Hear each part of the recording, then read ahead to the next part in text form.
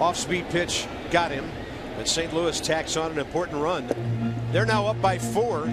With